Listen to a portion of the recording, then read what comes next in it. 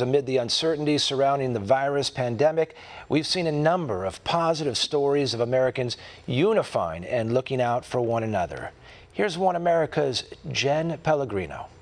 Well, Mike Lindell, inventor and CEO of My Pillow, thank you so much for joining me. It's been a while since we last caught up at CPAC, and given that all that's going on right now, it's nice to hear some positive news. Tell us a little bit about what you and your team are doing over there right now. Well, I'm very excited. Today's our first day. We're in full production of face masks for hospitals around the country, and I worked on this for actually the past month, um, getting the right elastic and all these different th components, and being able to switch over one of my factories to uh, to be able to do this. So it's it's really exciting. How did this all come about?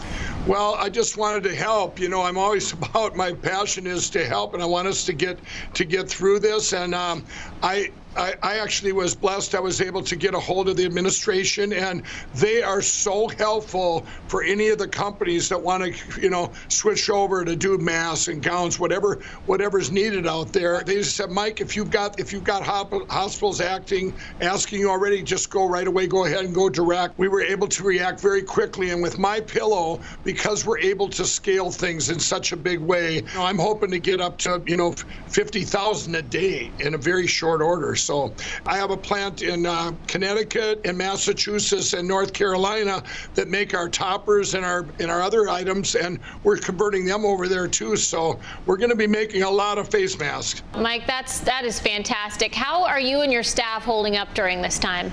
Well, it's a lot better now. You know, we had our reps that are on the road that do home shows and fairs. They were all shut down, you know, over a month ago, and then all our stores were shut down. So, you know, I had people, sewers and stuff, that needed something to do. So this is this is really giving me hope. We've gotten hope how, with this president and this administration, how good our economy can be and how good it was. So, and then and be able to absorb this now and this great thing they did last night with uh, this package that's come out of there to help people. I think you're absolutely right, Mike. And it's so great to see Americans coming together during a time like this from both sides of the aisle. Yeah. I know we have a lot of viewers out there that are watching right now and saying, what can I do to help? What do you say to them?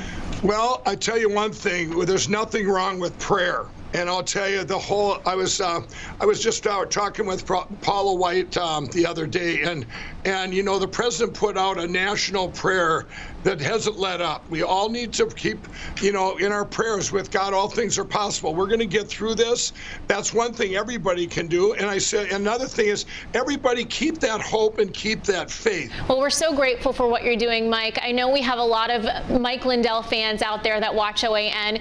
They're probably wondering if there's anything specific that they can do to help what you're doing with the mask. Is there anything they can do to get involved? You know, I guess we're hiring. If you're in Minnesota here, you know, we're we're hiring. We're trying. I think uh, I think people out there, if you're a company um, if you're part of a company, you can reach out to uh, to the administration. There's a coalition set up where you can get involved in making masks and making, um, you know, gowns, all these different things. But as far as for my for my pillow, you know, just uh, keep us, you know, keep us in your prayers.